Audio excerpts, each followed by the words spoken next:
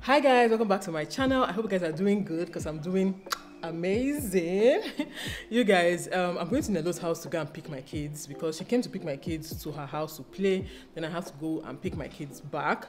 But before then let me show you guys some decorations and renovations i did in my house that i did not tell you guys about okay? So you guys already know this living room. Yeah i've shown you guys this part. But after the living room like once you come out of the living room that's the staircase there then we have this landing area. That's my kids room and this is elizabeth's room. So if you're following me on instagram you would have seen a video of this place. I love this place so much you guys. Like this is so beautiful. I did maybe i'll just play the video here so that you guys will see the whole thing. But at the end of this video i'm going to show you guys a tutorial of how i made this thing this um, black and white silhouette. So this bench was done by Yuli Interiors. I don't know if you guys can hear me. This bench was a Yuli Interiors. I got this throw pillow cover from Hello Homes. I think that's their name. I got this plants from Oriental Effects. Oriental Effects. I got this basket from my friend one time. And yeah, you guys, these curtains here I'm sweating so much. But anyway, these curtains here, they were the curtains that were inside my parlor before, the long wall to ceiling, floor to ceiling um, curtains that was very long. So we decided to, you know, do two curtains there instead and put this long one here. But I had to cut it. So I cut it myself. I think I'll show you guys a clip of that. But I had to cut it myself. After cutting it, I sewed it and folded it.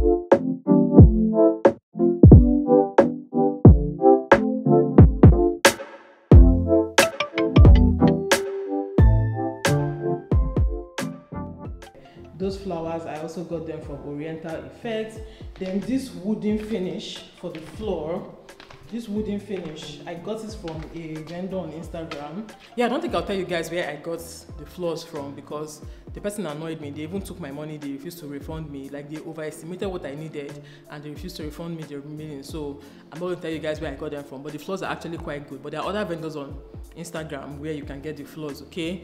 And yeah we had to install it ourselves. It was my me and my husband and our security man that installed it. It's just with glue and you just put it down and glue it and it looks really good because this staircase before had one kind of dirty looking tiles that I couldn't just deal with so I changed it to this um, staircase. So the wooden floors are two colors. The top one is a darker brown the light the down one the one that's the one facing is a lighter brown. We went for the lighter brown because the tiles down there is a uh, cream color. So we wanted the lighter brown to be the part facing. But i love the floors. They're actually very very good like very durable. This is something that the owner of this house is going to enjoy because it will last forever ever ever. Except they want to retile the house or something or they want to just remove it. You can actually remove it and just clean it up. Like the glue is the glue you can remove. So it didn't spoil the floors so yeah it is a very rental friendly renovation. Uh-huh. this thing here i actually put skating. Is this skating they call it or what they call the name.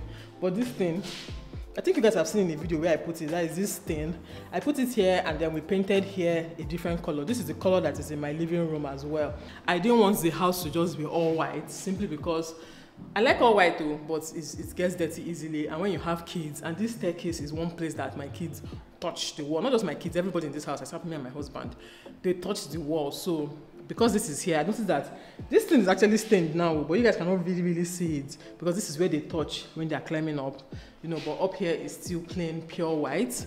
Uh, we did this all the way down you know, there. And I like it. I came up with the idea as well. I think people have asked me like, how do I get inspirations for my house and stuff like that.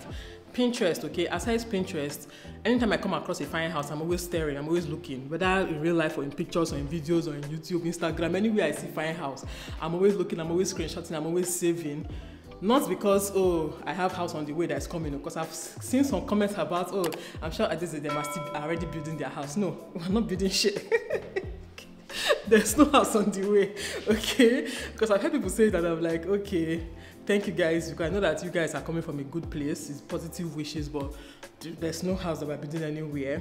Um yeah so um, but I just screenshot it just for future future references. And just one thing about screenshotting, you know, find pictures and find houses is that it changes your men your orientation somehow but you would not know. So when anytime you want to decorate any small space even in your existing house or let's say you build now anytime you want to decorate spaces you don't even need to start going for references. Like somehow it's almost like you've trained that part of you to be able to come up with nice ideas okay? So that is how i am able to get um, inspirations.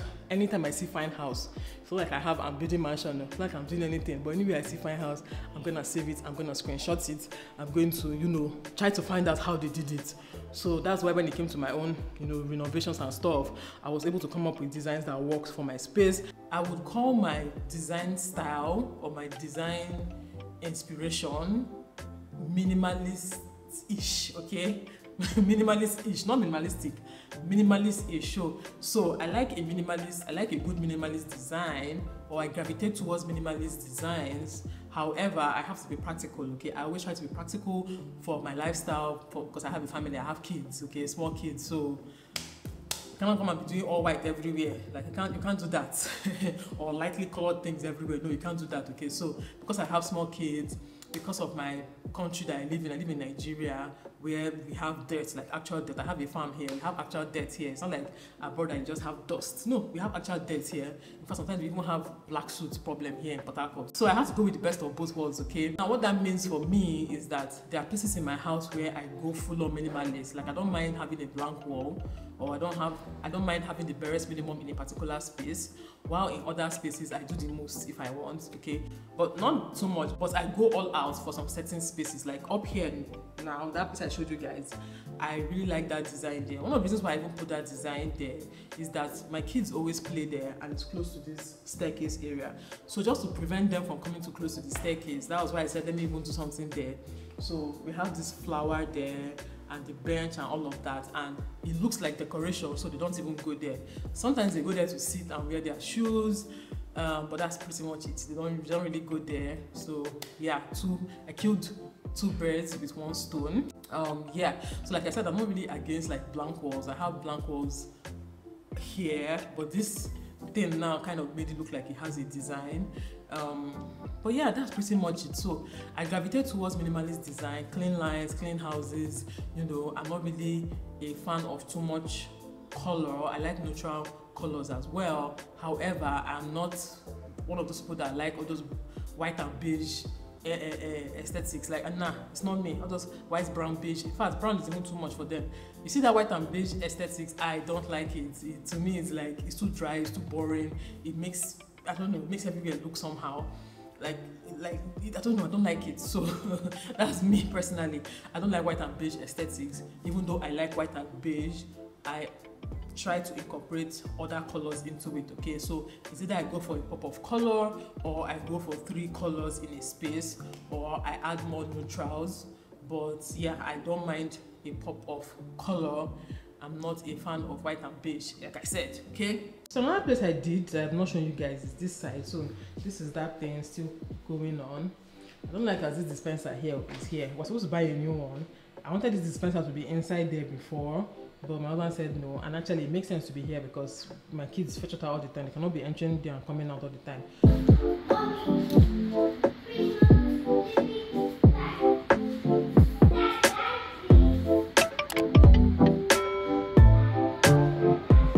We covered this staircase area with this whiteboard. So here is actually storage for my husband.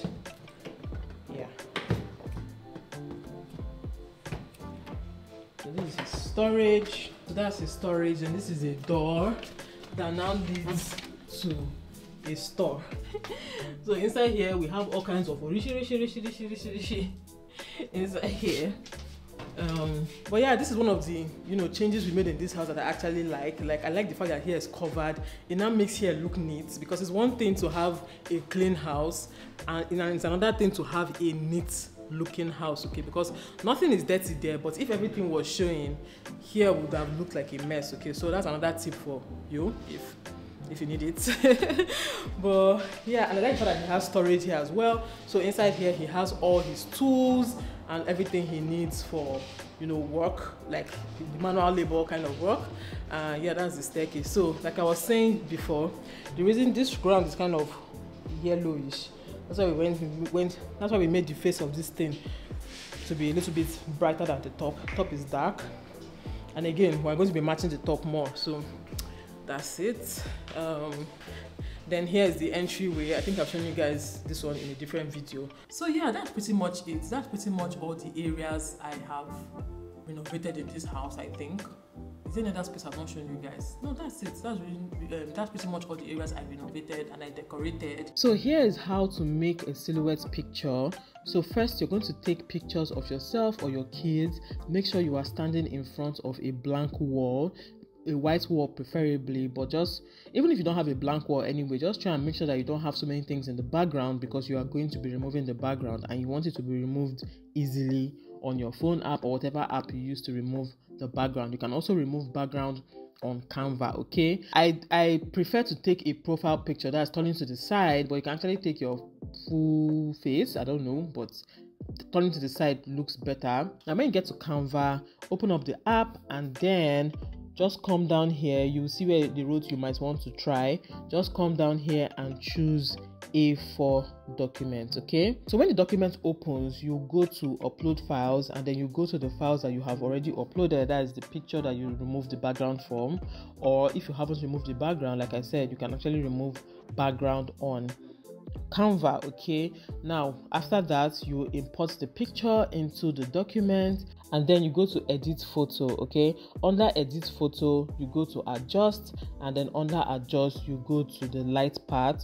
So you see where the rose brightness you take brightness down all the way to minus 100 okay? Because we're removing every brightness in the picture. You increase the contrast to 100 we want the picture to really contrast from the background okay? Take the highlights down to minus 100 shadows minus 100 whites minus 100 and then the blacks we increase it to 100 because we want the picture to be very black. And that's that's the setting. So you can just screenshot this or save it you know or just watch the video again and practice it on your own. But it's very simple. You can add multiple pages and do for multiple pictures and when you are done you go ahead to export or share the image that's basically turn it into a file. I usually use pdf print. You can use pdf print or pdf standard so that you get the file and go and take it to the printer okay? So i chose pdf print went ahead to download it and that's it. So you go to your downloads and you see the file there. So you can open up the file or send it to a flash or send it to your printer anyhow you want to send it just send it to someone who prints it for you. So i printed my pictures on you know normal a4 paper with normal printers. But if you can get professional printers like people that print pictures you can go to them and you know let them print it for you or you can you know do whatever you want. You can also trace this. That was my first option. You can actually trace this and then paint it black with a paint brush however you won't really get some details right. Like this part of my kids hair you know that part where their hair is fluffy is going to be difficult for you to paint that you know. But you can actually just try it and just you know use dabbing motion there with your brush and that's it guys that's how you get your silhouette pictures it's so easy and it is very very beautiful if you have questions concerning all the things i showed you guys where i got them again like i said this flooring i'm not going to tell you guys where i got it from or I should tell you guys where I got it from so people will avoid them. No, people will not say avoid them. That's free publicity. That's it, guys. Thank you guys so much for watching. No, I want to go out though. Should I continue this vlog? Hmm okay if i don't continue this vlog then this is the end of the video. But if i continue this vlog then see you in the rest of the vlog. But anyway i'll see you guys later. Bye